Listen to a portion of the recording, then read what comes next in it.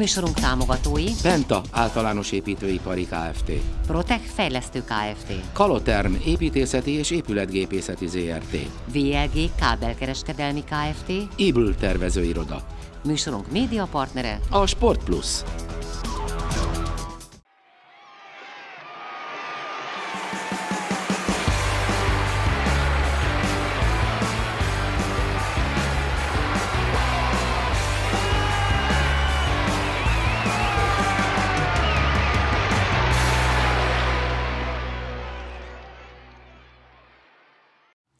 Tisztelettel köszöntöm kedves nézőinket, Önök a Foci és Sport című műsort látják. Köszöntöm műsorvezető társamat, adásunk állandó szakértőjét, Takács Tibort. Hasonlóképpen én is köszöntöm a nézőket, téged is természetesen vendégünket, Faházi Jánost, akiről csak annyit tudok mondani, hogy labdazsonglőrt.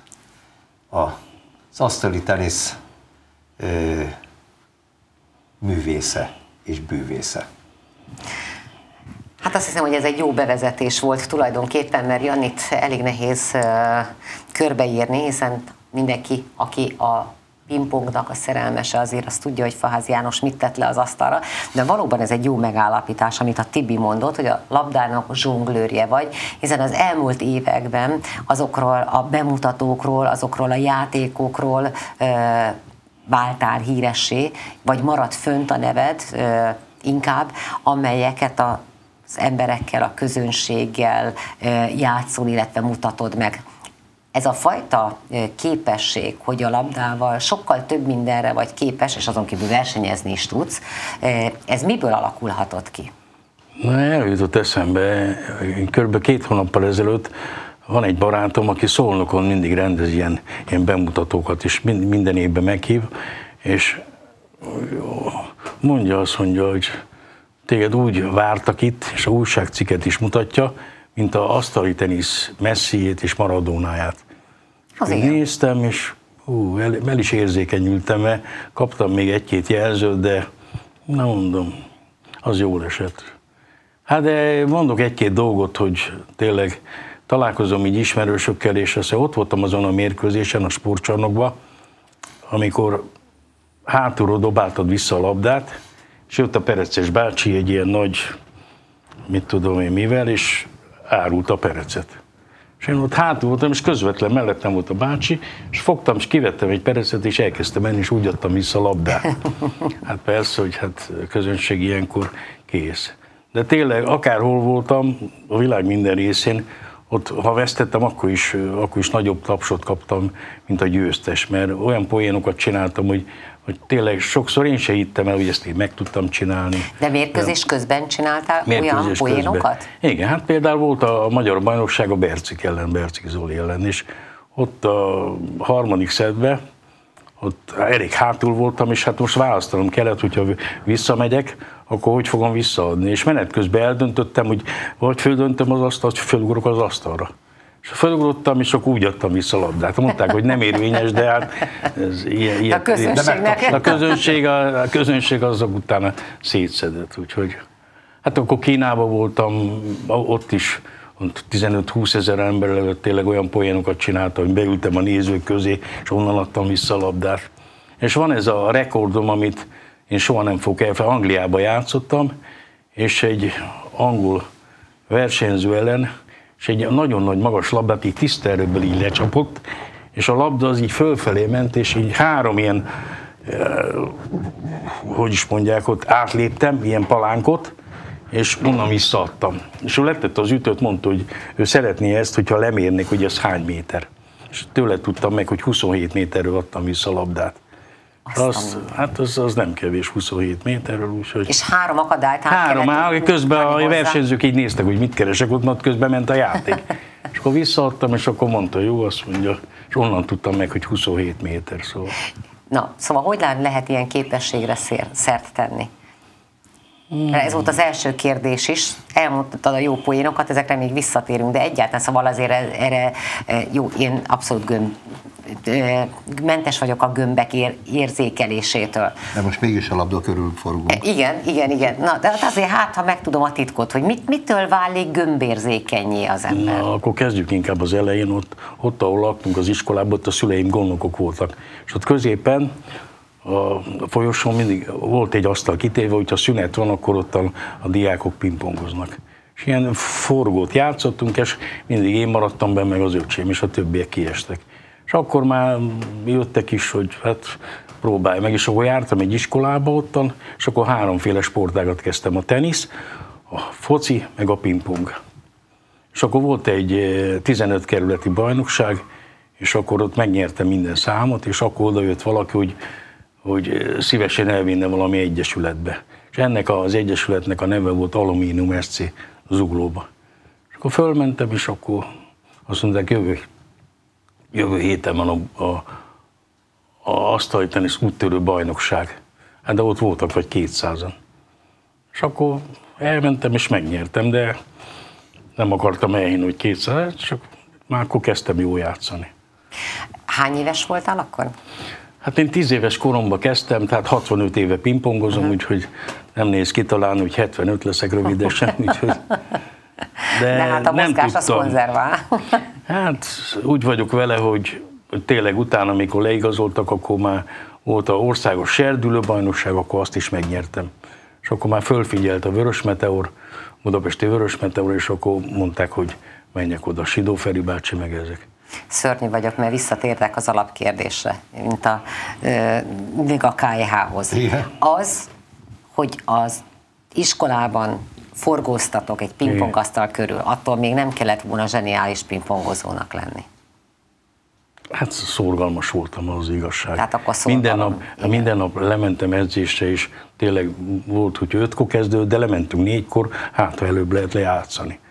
És akkor, akkor tényleg ma akkor kaptam egy olyan ütő, hát olyan ütőm volt parafaütő, hát ez a mai fiatalok azt se tudják, hogy mi az a parafaütő. És avval nyertem ezt a országos serdülőbajnokságot normális gumisütővel. És akkor, akkor elég sokat tréningeztem, és akkor bevettek a ifjúsági válogatottba, és akkor utána Tatán edzőtáborba, ott tényleg nem volt más, hogy napi 5-6 órát játszottam. De nem ez volt a lényeges, hogy amikor felnőtt válogatottba bekerültem, akkor játszottam ezeket nap, napi 9-10 órákat. Már olyan volt néha a kezem, hogy ilyen bőrkeményedés, meg mit tudom, de nem érdekelt, mert akkor már éreztem, hogy jó lesz. Tehát napi amíg nem voltál úgymond profi, addig napi 5-6 órát egyzettél, utána pedig napi 9-10 órát. Napi 9-10 órát. Ki volt az, aki felügyelet melletted? Bocsánat, mindjárt hagylak szóhoz jutni. Ki volt, aki felügyelt hogy ne rossz dolgok idegződjenek bele a játékodba, mert azért monotonon napi 8-10 órát, tehát egy, hogy hihetetlen fizikai állóképesség kell hozzá, az izmuknak az erősítése is, de az, hogy ne, tehát hogy a, a jó mozdulat álljon be. Vagy mi az, amit 8-10 órát gyakorolni hát, kell? Minden gyakoroltam, az igazság. Hogyha én valamit észrevettem, hogy nem jó például, az képes. De erről egy, egy, egy sztori jut mindig eszembe, ezt mindig elmondom, hogy uh, szilveszter volt, december 31.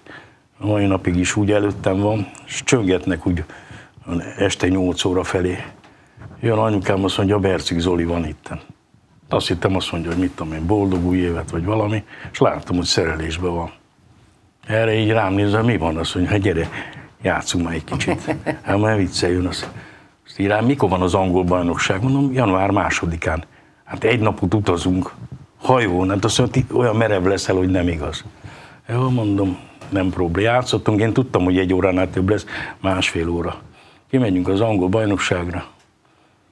Döntő, következik, Bercik, Faházi. Oda mentem középre, mondom, az Olikám, akármilyen ünnep van, mindig gyere és, és, és neki, neki volt igaza. Hogyha az ember, tudom én, tesz valamit ért, akkor siker is jön. És akkor, akkor utána, aztán tényleg utána már nem lehetett megállítani. Rá egy hétre jött a osztrák nemzetközi bajnokság, akkor ott megnyertem, és minden versenyen az első négybe kerültem, és akkor voltam az Európa ranglistán abban az évben második. és a világranglistán a első 22-ben voltam. Hm, ennyi dióhéjban, hogy meg hát akárhol voltam, arra vagyok büszke, hogy mindenütt megtapsoltak, és pont a Kínában, ahol nagyon nehéz, ott is mindenki. Hát olyan, hát 28 mérkőzést nyertem 35-ből. Hát abban az időben nehéz volt megverni a kínaiakat, de hát, de hát csak sikerült. sikerült, mert más taktikával játszottam, nem az asztalnak a én dobáltam nekik, úgy hívják, és mikor a harmadik szedben, már első szedben bim bum a harmadik szedben meg már így csinált, már alig tud. Tehát visszament mindig egy poénba, legalább 15-ször visszaadtam. És az hosszú távon ebbe bele lehet fáradni. Úgyhogy. Elárulok egy titkot a nézőknek, egyzésről jöttek éppen a fiatal emberek, mert a mai napig is pingpongoznak együtt. Tipi, te mikor kezdtél el Janival együtt pingpongozni, és egyáltalán mikor láttad először játszani? Kezdjük azt, hogy én mikor kezdtem el az asztali teniszt, tehát én 1960-ban lettem igazolt sportoló, és akkor gyakorlatilag... A torna mellett? Nem, hát a tornában én nem voltam igazolt sportoló, csak kellett, kellett ugye a szüleimnek megfelelni, és tornáztam természetesen, de nem voltam igazolt sportoló. Igazolt sportoló, asztali teniszben lettem, és eljutottam odáig elég gyors karriert befutva, hogy Budapest ifjúsági csapatbajnokságát megnyertük. És akkor az edzőm odajött hozzám, és azt mondta, hogy most akkor válasz. Választhattam, hármas csapatok voltak, és hát én nyertem a második legtöbbet, tehát középen voltam a csapatban. Szóval válasz azt mondja, vagy gőzerővel jársz az edzésekre, és akkor semmi mással nem foglalkozol, erre teszed az életedet, akkor lehetsz egy MB1-es játékos, de azt mondja, hát világbajnok nem valószínű, hogy leszel. Ugye hát akkor még olimpia nem volt, még az, azzal se kecsegtethetett, és akkor azt mondja, vagy pedig keftelésből csinálod tovább, és akkor tanulsz, egyetemre járhatsz, családot alapíthatsz, minden, döntsd el.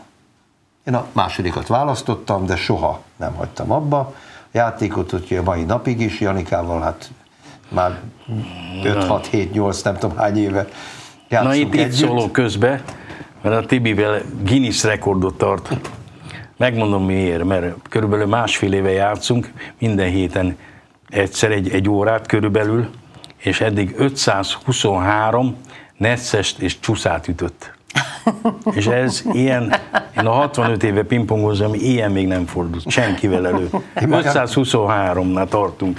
És azt az elosztva, igen. hát ez nem semmi. Janikát már meggyanúsítottam, hogy ő tud olyan labdát adni, amit én csak csúszára vagy deszre tudok, de azt mondja, hogy azért ennyire nem futja nem, a hát képességeit. Ez, ez, ez, ez nagyon nagy rekord, mert én a pályafutásom... Tudod, ilyen, izét, ilyen... Nem, ilyen, számoljuk, ja, számoljuk. számoljuk. Amikor elkezdtük másfél évvel ezelőtt, ütött mit tudom én, 10 perc alatt 20 Hát mondom, akkor jó, 10 perc alatt 20 Hát mondom, akkor kezdjük el számolni. És onnantól, de másfél, hát azt el lehet osztani egy héten egyszer, mit tudom, egy óra. Hogy ez 523-na tartunk már, azért ez azért nem ez kevés. Egész, ez nagyon nagy dolog. Hát én százuk hallottam. 523. Ma is úgy kezdtük, Már 507. Hát Igen. szerencsé. Ennyi, ennyi Nesz csúszával világbajnokságot tudtam volna nyerni. Bár akkor lett volna ez, Bár egyszer 20-17-nél. Az is az életem végig kísér az a mérkőzés. Az... Most ilyen, ilyen, ilyen lab, labdák, most ha már arról beszélgetünk, hogy labda körül, akkor most a Nadal Federer mérkőzésen is voltak ilyen, ilyen, ilyen necces labdák amik aztán a Federer javára döntötték Jó, de nálam egész más volt a szituáció, mert én már megnyertem a mérkőzést. A döntőbe jutási játszottunk a világbajnokságon, és egyszer 20-17-en volt az Erik Art ellen. Soha nem felejtem, és hosszúra ütött, és én vagy a lábomat érte, vagy az asztalt. És már jöttek, és már dobálni akartak a levegőbe minden, és erre mondom, hogy álljon meg a menet, mert mondom, ezt úgy éreztem, hogy ez csúsza volt. És jött oda, hogy csúsza volt. Megadtam, nem 21 lett, hanem 20-18. És kikaptam. Hmm. 23-21-re. És hát azóta is elkísér, de mondjuk én fair play voltam, inkább, inkább, és azóta mondták, hogy ezt én meg tudtam adni, hát ezt lehet, hogy senki nem. Én megadtam, de azóta tiszta lelkismeretem, hogy tényleg Igen. lehet, hogy nem csúszott, a többiek mondták, hogy nem csúszott. Én úgy vettem észre. Elkísér egy darabig, mert azért döntőbe kerültünk volna, egész másképp alakul minden, úgyhogy de hát De legalább tiszta lelkismerettel Persze, persze, azért sportszerű voltam biztos. mindig, úgyhogy életemben nem, ha ütött egy csúszát, és mit tudom, mert akkor is mondtam, hogy elnézést, vagy valami, vagy én ütöttem, de hát mai fiatalok kapnak egy csúszát, mert rögtön úgy kezdik, na, tessék csúszát, és akkor mi van, a csúszát ütött, úgyhogy semmi ilyeneken soha nem tudtam magam fölidegesíteni. Sőt, én azért nyertem régebben, mert mindig én, én nyugodtabb voltam, például döntőszet 19 egálnál, olyan biztos voltam, hogy én nyerek. Ne, de ott is volt egy kis raffináció, aztán úgy csináltam, mint a szerváltam és a gyerek várta, hogy adogassak. És fölnéztem, és elmondom, még nem. Mit szórakozom? Mondom, most már most adok, mert látom, hogy ma ideges vagy. Hát ilyen apróságok szóval, de ezt, ezt, ezt is rutin, rutin, ez már rutin, úgyhogy. És ha már ö, kérdeztél De ki- rólam, igen. akkor gyakorlatilag én hadd mondjam Janika esetében, hogy ő valószínűleg, és ezt majd meg fogod erősíteni, ő neki az edzői azt mondták, hogy ő neki olyan Isten áldott tehetsége van, hogy nem szabad még ilyen kérdést se föltenni neki, hogy akkor mit választasz, uh-huh. az asztali teniszt, vagy pedig egyéb karriereket az életben. Egyértelmű volt, hogy te a legmagasabb csúcsokig tudod elvinni, és ez még párosult azzal is, hogy a labda művészete, és a labda bűvészete is hozzátartozott, nem csak az, hogy most akkor nyerjek meg egy mérkőzést. Benned kettősség volt, kívülről látva természetesen. Az egyik, hogy nyerni akartál, de a másik az, hogy szépen. Tehát inkább hajlandó voltál szépen Igen, kikapni, ezt, úgyhogy ezt a kérdést, meg. ezt a mondom? mind, persze, ezt a Nem, nem, kérdést mindig megkapom, mert, világbajnok lehettél hát volna. igen, mert mindig azt mondták, hogy egy szép poénért eladtál, eladtál egy meccset, hogy arról van szó, egy szép poén. Volt ilyen, de hát, ez, ezeket nem. Csapattársak hogy viselték az ilyen típusú megnyilvánulásaidat? Hát mondták, egyéniben azt csináljuk, de csapatom semmi. Ottan, ott mondták, hogy az már, az már nem úgy van, úgyhogy csapat az teljesen, csapatért mindenre képes voltam, úgyhogy nem véletlenül, akárhova mentem. Itt van a, az, amit én akarok mindig mondani, hogy mondtam elég sok embernek, hogy már lassan nem Faházi János a nevem, ezt mindig elmondom, hanem megmentő. 1985-ben mentem ki Olaszországba, és utána 12 évet Németországba. És mindig olyan csapatok hívtak, vagy föl akartak kerülni, vagy nem akartak kiesni. Uh-huh. És akkor hazajöttem, és akkor el, elmentem ide-oda, gyere, ments meg bennünket, meg kiesésre állunk. És, és akár hány helyen voltam, mindenütt sikerült. Mindenütt. Úgyhogy Egyébként mennyire lehetett szabadon igazolni abban az időben? Azért focisáknak nem volt olyan egyszerű átmenni külföldi csapatokhoz játszani. Hát én úgy örültem neki, hogy mikor először hívtak Olaszországba, de hát épp mondtam, utolsó helyen áll ez a csapat. Ö, Vigevano, Torino, Milano közt volt egy kisváros, és nézem, lejátszottak már egy, egy fél szezont, utolsó helyen vannak null pont nélkül. És két kieső, hogy mentsem meg. Mondom, jó, kimentem, örültem neki, hogy mehettem Olaszországba. Ezt kimentünk, és mondták, hogy szombaton van a mérkőzés. Ó, na mondom, ez tízezer néző lesz. Ó, mondom, na, szép műsor. És kivel játszunk? Az olyan bajnok csapattal. Ó, emlékszem, kijött a Rai Uno televízió. Le- leveg fény, olyan sápat voltam, jött a olasz bajnok. Na, mondom, szép. Elkezdtünk játszani, aztán a közönség elkezdett kiabálni, hogy Duro Vecchio, akkor jöttem rá, hogy gyerünk öreg keményen. És akkor megvertem, és akkor, akkor elszabadult a izé. Hú, és akkor nyertem háromból három mérkőzést, szóval nem ez a izé, mi kikaptunk 5-4-re, ez nem ez a mérkőzés, következő lesz Rómába, a Szent Elpidével, olyan rég volt, és ezt kívülről tudom. Mert hogyha azokat megverjük, akkor van esély bemaradásra.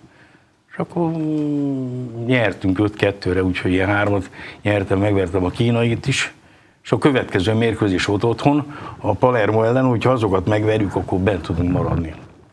Hát mindegyik úgy meg volt ijedve, nem mondom. Hát, megint nyertem minden mérkőzést. És akkor nagyon megszerettek abba a városba. Mindig lesték a gondolatomat, hogy mit, mit, mit akarok, meg hova menjek, meg mit tudom én, szóval nagyon segítettek. És akkor ott, ott játszottam két és fél évet, vagy három évet, és akkor már végén már jöttek az ázsiaiak. És akkor mondtam, és akkor jöttem az, és akkor mentem 12 évig játszottam Németországban. Az volt a hosszú, mert kocsival kellett mennem. Minden pénteken reggel mentem, és vasárnap jöttem. És az volt hosszú, mert az 10-12 volt, hogy 15, az időjárástól függő volt. Ott is, hát a mai napig is állandóan jönnek, meglátogatnak, kérdezik, hogy mi újság, hogy menjek vissza, megint bajba vannak, de hát mondom, most már azért 75 leszek azért már Egyébként mennyire Nem sokára. érdekes, igen, Nem sokára. mennyire érdekes ez, hogy vannak olyan sportágak, amiből ki lehet öregedni, és vannak olyan sportágak, amiből nem lehet, vagy nem nem, nem lehet, szabad. Ki, nem, vagy nem, Nem szabad, szabad. kiöregedni. Szinte hihetetlen, ugye, hogy leigazolt játékosok vagytok. Pedig hát igen, tulajdonképpen, ahogy mondod, hogy most is, hogy vagy olyan formában, hogy be lehet állni a fiatalok közé, és föl lehet hozni egy Hát, kieső félbe levő csapatot. Hát még három évvel ezelőtt 80-ból nyertem 79-et. Jó, nekem más a játékom, én nem azt játszom, hogy pik-puk-pak, sízi kis észsel, egy-két dolgot leteszem a kezem, nem látják, hogy mi van. Szóval nekem, nekem más a játékom, úgyhogy... Megőrülnek tőle? Hát, mert volt egy kínai, mondták, hogy annak nem tudom, hogy hány százaléka van. Nem ismert, mondom, egy a fene. Eszembe jutott, hogy a kínaiakat hogy vertem meg ilyen varikkal. Szóval de olyan, tényleg nem volt neki egy veresége is. Hát Lehet, hogy te azon a mérkőzésen ott voltál, és 10-0 volt az első szedben, és néz, nézem ezt a kínait, úristen, mondom, mert ez eldobja az ütőjét, vagy mit tudom én. És akkor direkt elszerváltam egyet, de nehogy núra nyerem. És akkor három núra megvertem, és akkor jött nekem azt mondja, hát ez milyen játék? Hát mondom, hogy, hogy mi, ungáris és specialitét, mondom, mondtam neki. Azt mondtam, majd visszavágom már, visszavágom már nem lesz, mert akkor mondtam, hogy elég, úgyhogy. Versenyszerűen már nem játszom, mert az már, az már sok lenne. De úgyhogy. Azért hadd mondjuk el, hogy tulajdonképpen most Janikát megválasztottuk az Egyesületünk tiszteletbeli elnökének, hát úgyhogy a titulusom már- lendületébül tervező eh, asztali tenisz csapatának és a, az Egyesületnek a tiszteletbeli elnöke. Hmm. Amellett ott van mindig, tanácsot ad, játszunk is természetesen. Hát segítek, ahol tudok. Így van.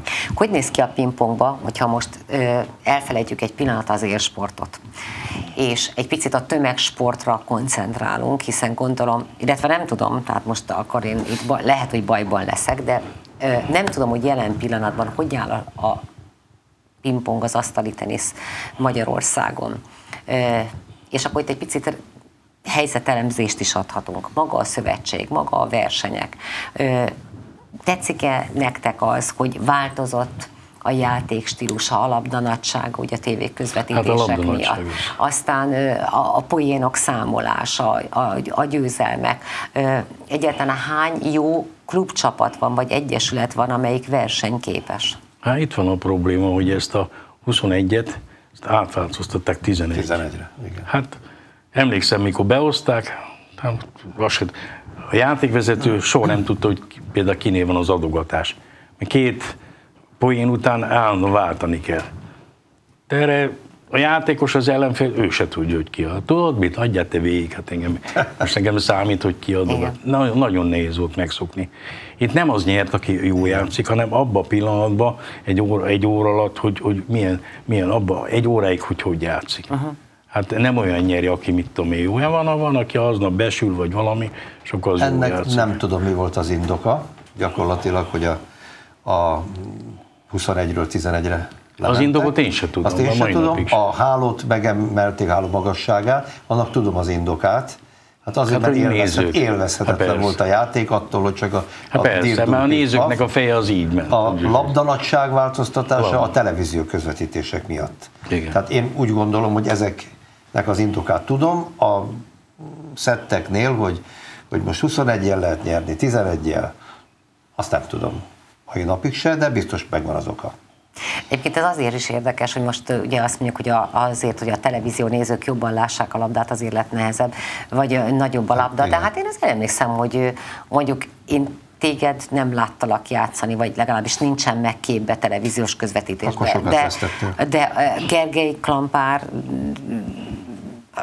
jó nyert triót láttuk játszani. Hát a, akkor voltam én ö, ilyen szorgos tévénéző, aki nézte ezeket a mérkőzéseket, és én, ahogy visszaemlékszem, én nagyon jól láttuk a játékot, tehát Hát nem, persze. Hát jó, nem, hát nem akkor- értem a, tehát nem, Akkor nem, tudom, volt még ilyen gyors, most nagyon gyors lett ebbe a Ja, annyira föl van gyorsulva a Igen, játék? Nagyon föl van gyorsulva. Tehát akkor ugyanúgy, mint a futball. Igen, hát Minek köszönhető, hogy ennyire fölgyorsult a játék?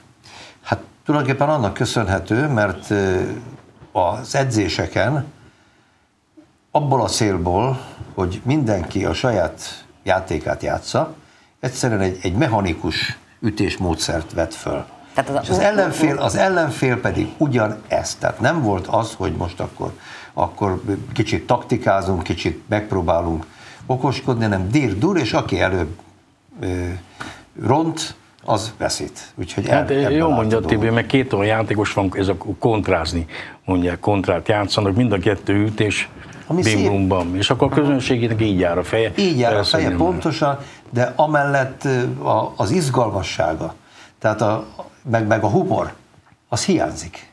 Hát igen. Legyünk, legyünk őszinte, minden labdajátékban van humor. Hát Most igen. például, hogyha ma labdáról van szó, és akkor hadd hasonlítsanak téged össze, mint az asztali tenisz labda zsonglője, annak idején még a Népstadion könyvet elemezgettük néhány adással ezelőtt, és abban benne volt, meg is említettük, én magam is ott voltam, amikor kosárlabda mérkőzés volt, mégpedig Európa bajnoki döntő, Szovjetunióval játszottunk Emlékszem. A...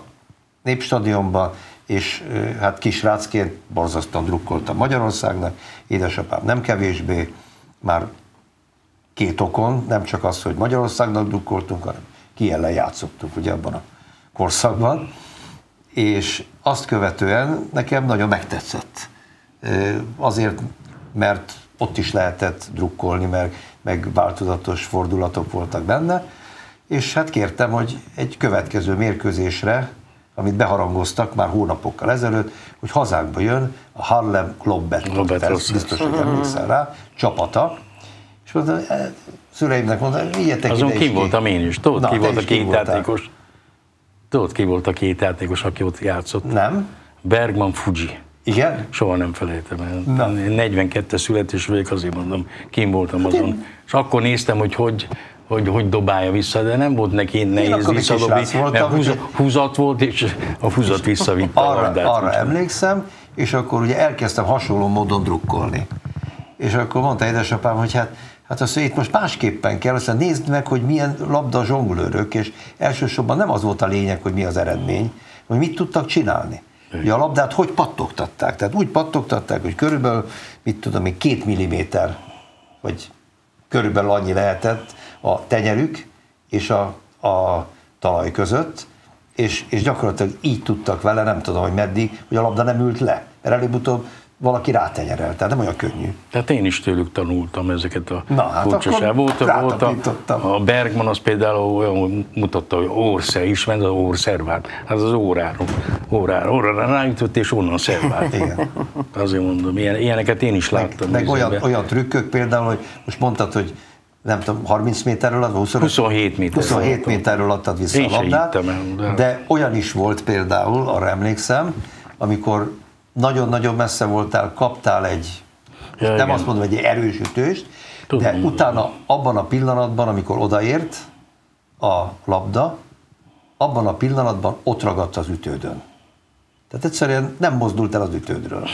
Ez bemelegítéskor volt, tehát nem mérkőzésen, nyilván visszaütötted volna, de bemelegítéskor kaptál egy labdát, és egyszer csak a labda ott maradt, és meg sem mozdult, oda ragadt az ütő, mint hogyha bekented volna.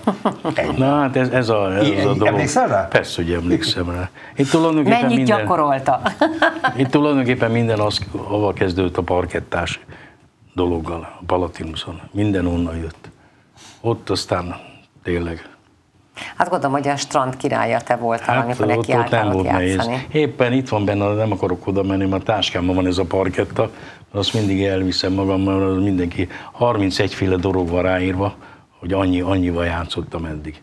Hát tényleg kimentem, aztán ottan Jó, hát Maradtam. gondolom, hogy az emberek már készülnek, és amikor mész egy bemutatóra, hogy mi az, ami még nem próbáltál. Igen, ők mi az, ajánlottak, amivel- de mindig fölírom, hogy, hogy ne legyen gond. De egyszer voltam a Csilibe, azt nem felejtem a nevét, és odajött egy néző, hogy azt mondja, Pereccel játszok. Hát mondom, játszok. hármat összehajtottam így, és akkor mondom, 12-ször visszajövő, azt mondja, ez nem semmi. Aztán vannak ilyen bemutatók, aztán azokon is, hát majdnem, hát múltkor nem voltam Soltvat kerten is, ott 50 emberre játszottam. Olyan nincs, hogy valakit kihagyok, vagy valami, akármilyen fáradt vagyok, de játszok, úgyhogy. Egyébként ez egy döbbenetes, hogy mire vagytok képesek, és mire vagy képes, és itt a, tényleg a, a másik három nagy ágyút is nyugodtan említhetem, Jónyer, Klampár, Gergely páros, mert ők is szívesen elmennek. Persze, hát bemutatókra. nagyon sokszor együtt ez, vagyunk. Ez egy olyan fantasztikus dolog. Nekem jó, is, jó, jó érzés is, hányszor maguk, magukkal visznek.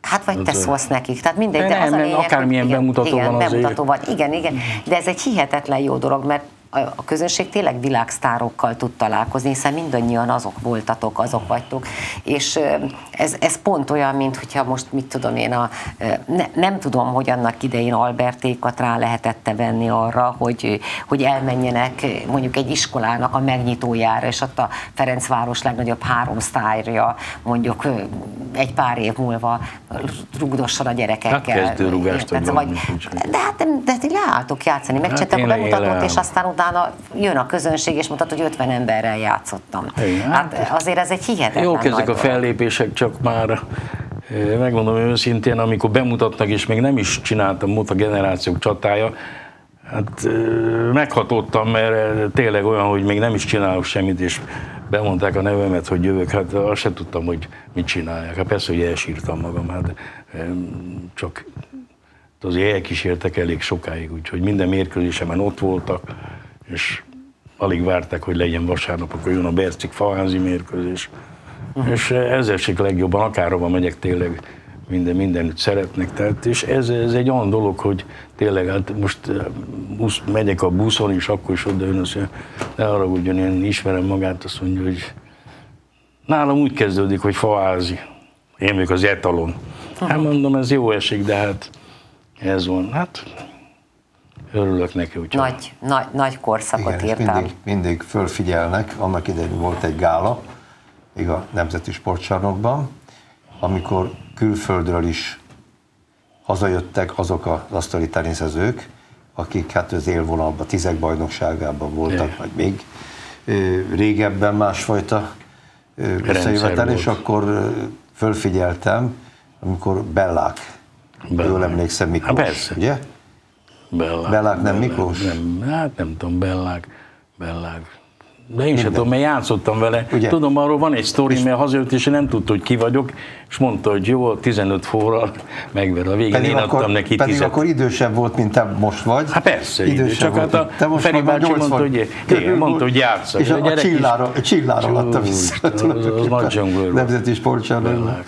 Úgyhogy ezekre mindig fölfigyelnek azért a, a nézők, és hát igen. Az első kérdésemre, amit föltettem felé, még nem válaszoltál. Amikor Igen? először láttad játszani Igen. Janit, akkor hány éves voltál, és mi maradt meg belőle?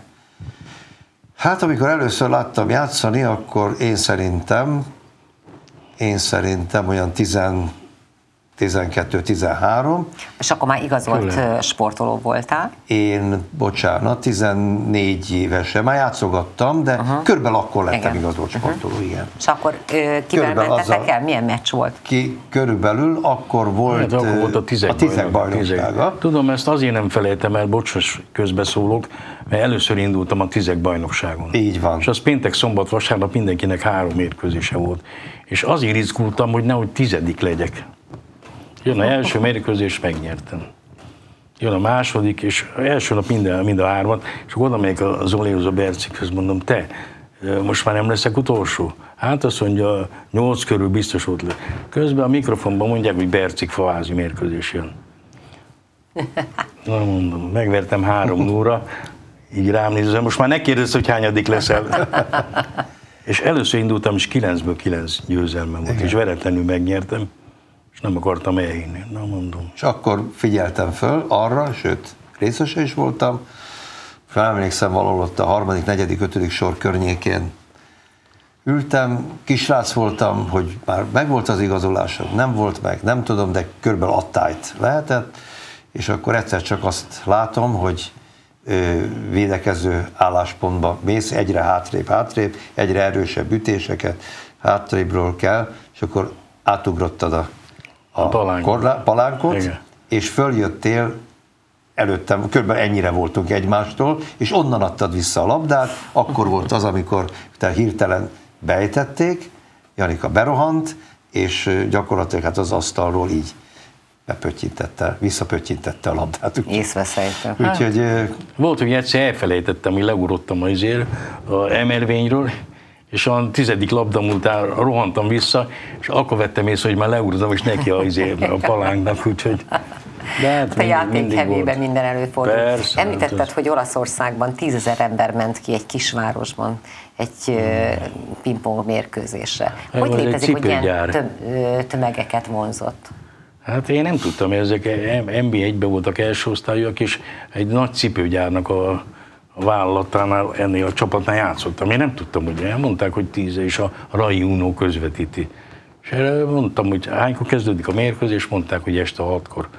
Oda mentem fél öt felé, hát mindig előbb mentem oda, mert be akartam melegíteni jól, és akkor látom, hogy nézők jönnek, és akkor mondom a izenek, hogy most mondta, hogy tíz, no, mondom, ez hiányzik nekem első mérkőzés, Rai Uno, aztán utána már fölengedtem, akkor ottan nagyon jó volt. Akkoriban az. há- Ján, há, milyen volt a látogatottsága itthon egy asztali tenisz meccsnek? Hát nagyon, nagyon kevés. Nagyon kevés. Hát a, a mérkőzéseken általában... be, hogy itt alig mentek el az emberek, ott meg ennyien? Hát jobban szerették a asztali teniszt, ott, uh-huh. ott is úgy van.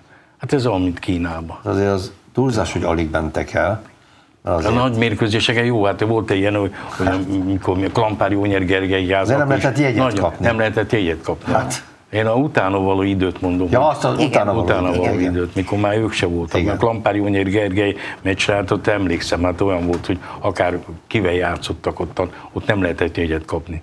Tényleg, hogy Hát, ott De még olyan, előtte mint is, amikor gyakorlatilag Még a zsidóik játszottak. Persze, hát akkor is tele volt a sportcsarnok, állandóan tele volt. Mindenki Egy- szól, Boros, Gyetvai és a többiek. Persze. Pár évvel ezelőtt elmentem ö, magyar bajnoki meccsre, és borzasztóan meg voltam lepve, mert nagyon-nagyon-nagyon kevesen voltak.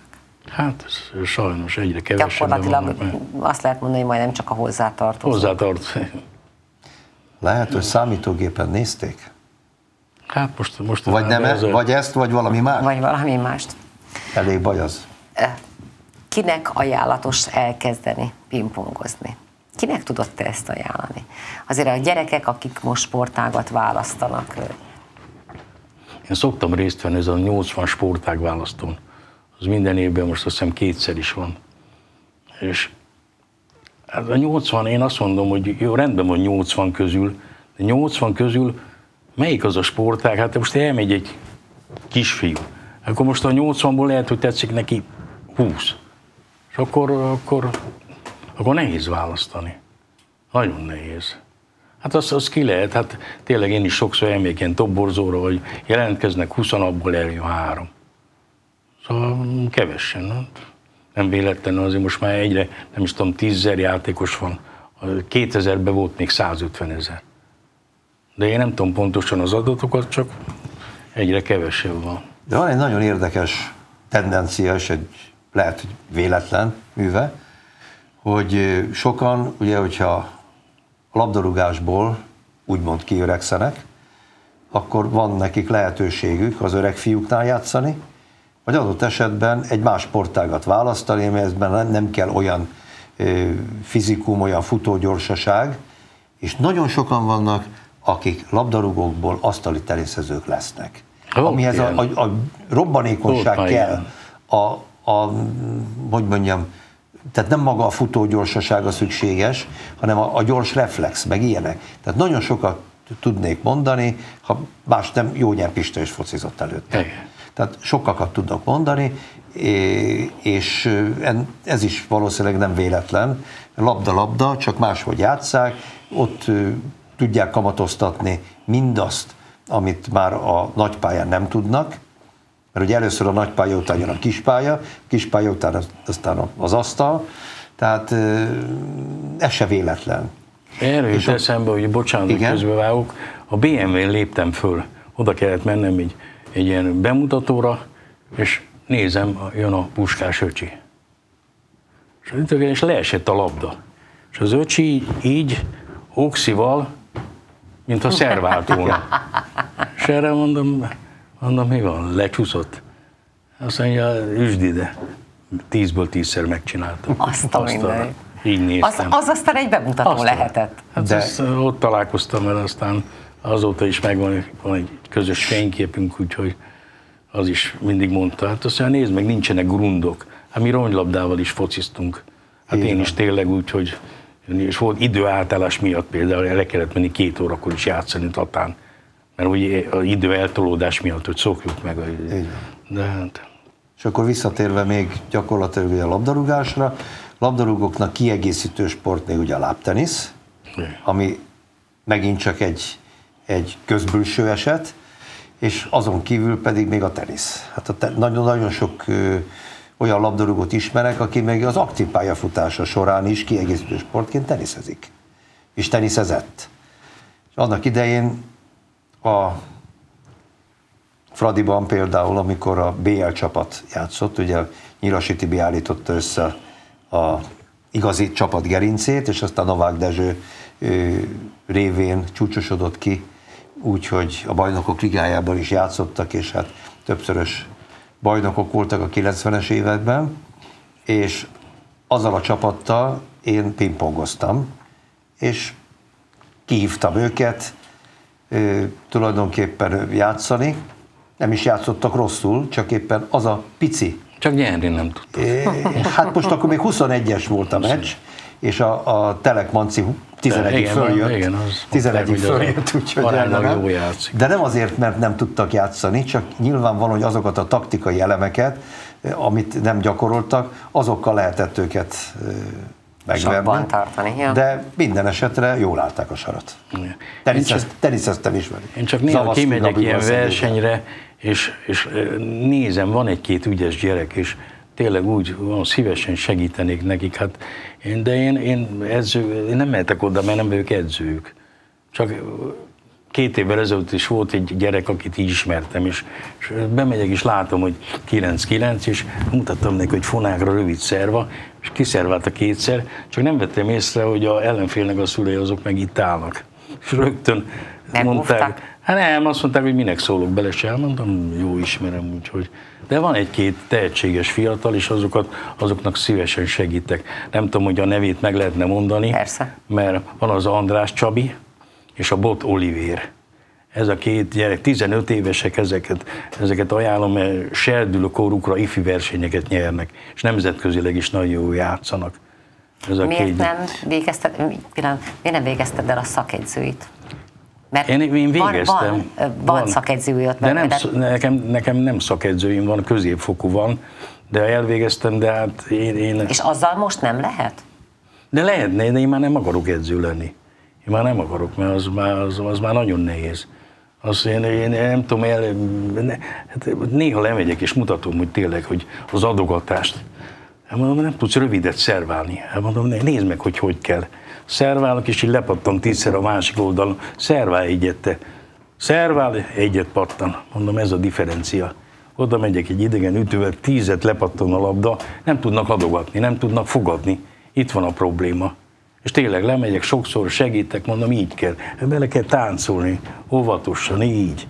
Mutatom neki, a szervál, egyszer lepattan hosszú, megindítják egyből. Az egészségi állapotod milyen volt végig az évek során?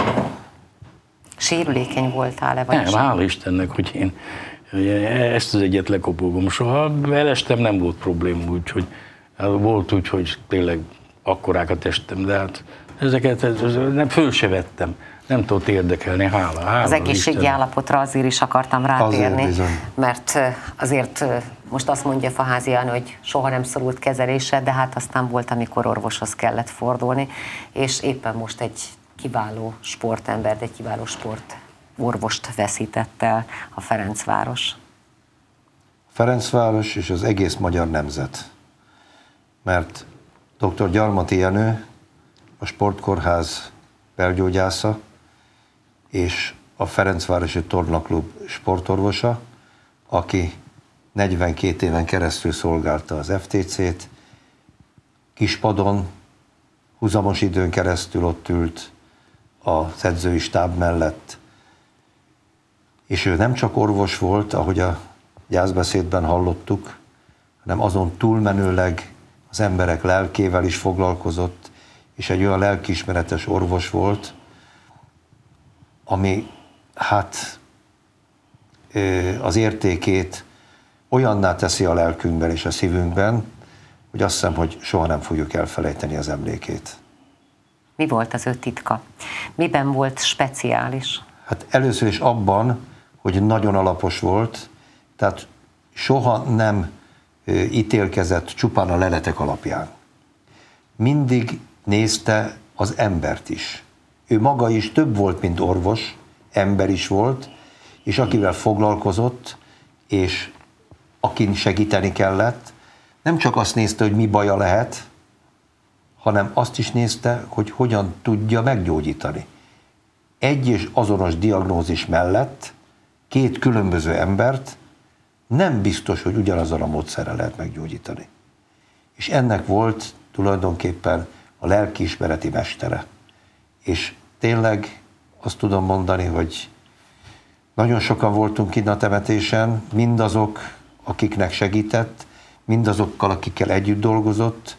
Én is elnökségi tagként hosszú éveken keresztül voltam mellette, nagyon sok eseményre mentünk el együtt, személyes jó barátok is voltunk, családilag is, és hát nagyon-nagyon fájó ez a veszteség, amit már akkor említettünk, amikor megtudtuk a borzalmas hírt, de most a temetés során ismét felelevenedtek azok a gondolatok, amelyek vele kapcsolatban bennünket elborítottak.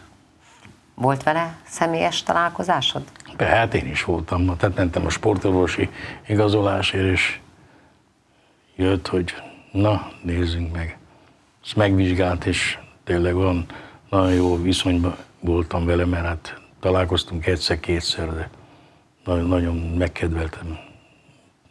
Egyébként az, hogy egy sportorvos mennyire hozzá tud nőni egy csapathoz, egy egyesülethez, az azt gondolom, hogy talán nem is szorul magyarázatra, mert együtt kell, hogy lélegezzen a csapattal, együtt kell, hogy éljen, és nagyon kell, hogy ismerje azokat az embereket, akik a keze alá tartoznak, hiszen nagy felelősség van a sportorvosokon, és nem véletlen, hogy most ugye nagyon megszigorították a sportorvosi rendszert, hát. mert a sok sérülés, a sok hirtelen halál, az, az valahol benne van vagy abban benne van a sportorvosoknak a felelőssége. Nagyon sok mindent nem lehet előre kiszűrni, de pontosan a lelkismeretességgel, azzal, hogy több, mint, vagy több mint diagnoszta, több, mint orvos, hanem az embert is nézi mögötte, eh, hiszen a sportoló az nyerni akar, és akkor az azt mondja, hogy de, de én egészséges vagyok, de én akarok menni, de én meg fogom tudni csinálni.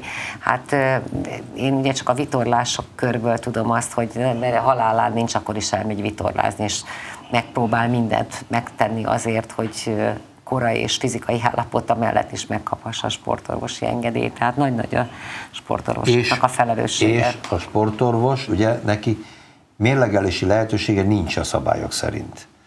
De valamennyire mégis kell mérlegelni, meg kell nézni, milyen sportágat űz. Most hát nem kell megnézni, de mégis meg kellene nézni, mert lehet, hogyha valakit a mozgástól eltilt, sokkal többet árt neki. Igen. Sokkal többet árt neki, mert a mozgás az hozzá tartozik a terápiához. Valakit le, letiltanak a mozgásról. Most kézzel neked azt, azt mondanák, hogy holnaptól nem. Jó, valami Hogy velem nem, nem lehet. Például. Nem, nem lehet a pingpongoznod. Hát az, Mennyi ideig tartana az életed? jobb, hogy ilyen nincsen. Jobb, hogy jobb. ilyen nincsen. Tehát itt is mérlegelni kell, és az embernek van egy teste, meg van egy lelke, és ugye mentálisan is oda kell figyelni ezekre a dolgokra. Én csak azt tudom, hogy én 65 éve pingpongozom, és hát én, én nem tudom magam elképzelni úgy, hogy, hogy mit tudom, én nem megyek le egy versenyre, vagy valami, hát ez, nem is tudnám elképzelni magam. Azt állítani, hát ez az életem, ezt nem lehet, de hát. Doktor úr emlékét megőrzik mindazok, akik szerették, tisztelték, és a környezetében lehettek. Reméljük, hogy lesznek továbbiakban is ilyen lelkismeretes sportorvosok, hiszen ezt gondolom, hogy tényleg nagyon nagy felelősség van rajtuk. És akkor még visszatérünk egy pillanatra az asztali teniszhez és Faházi Janihoz, hiszen azt mondtuk, hogy beszélgetések a labda körül. Ez a mai témánk. Úgy általában a labda, mint olyan, azon túl, hogy a pingpongban mindened mennyit jelentett az életedben? Hát nagyon sok mindent. Hát, ezt nem is lehet, hát ez, tényleg ez nehéz, nehéz. Hát, én bejártam az egész világot, úgy kezdődött, és tényleg nagyon sok emberrel találkoztam, akivel, mit tudom én, az életben, ha nem vagyok jó játékos, az biztos, hogy nem, nem találkoztam volna vele, úgyhogy nekem én, tényleg csak azt tudom, hogy nekem ezt nem is tudom elképzelni magam, tényleg úgy vagyok, mint a Klampár az is asztali tenisz nélkül. Nem, én nem tudom elképzelni, hogy három napig, már hívom a Tibi csütört, csütörtök van játszik. Én, nekem is hiányzik mostanában, de már versenyszerűen nem. Nem, mert mit tudom én, voltak olyanok, akik megvertem, és rosszul esett, hogy kiszól, hogy nézd meg egy helyből hülyére ver. Hát, mondom, most, most Na jó, hát egy faházitól nem Na jó, de ő nem tudta, hogy ki vagy, hogyha ja. edzője mondta, na akkor menj oda, és mondd, hogy elnézést, vagy valami, szóval Hát, Máté Péter azt énekelt, hogy zene nélkül mit érek én, hát te meg énekelhetted, hogy ütő meg labda nélkül mit érek én. Reméljük, hogy nagyon sokan fognak még veled találkozni különböző bemutatókon, ahogy mondja, a fellépéseken. Csak hívjanak, menni, csak hívjanak. Csak hívjanak. Én mindig megyek, mindenhova elmegyek, ha hívnak. Azt gondolom, hogy akik találkoznak vele, azok nagyon örülnek majd ennek. Köszönöm szépen, hogy vendégünk voltál. Köszönjük, Köszönjük szépen, Tibi. Kedves nézők, ez volt már a Foci és Sport. Egy hét múlva ismét találkozhatnak velünk viszontlátásra.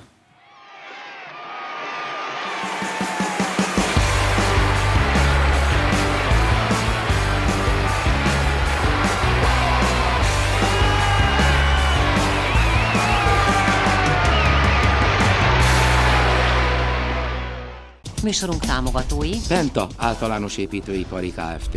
Protech fejlesztő Kft. Kaloterm építészeti és épületgépészeti ZRT. VLG kábelkereskedelmi Kft. Ibl tervezőiroda. Műsorunk média partnere a Sport Plus.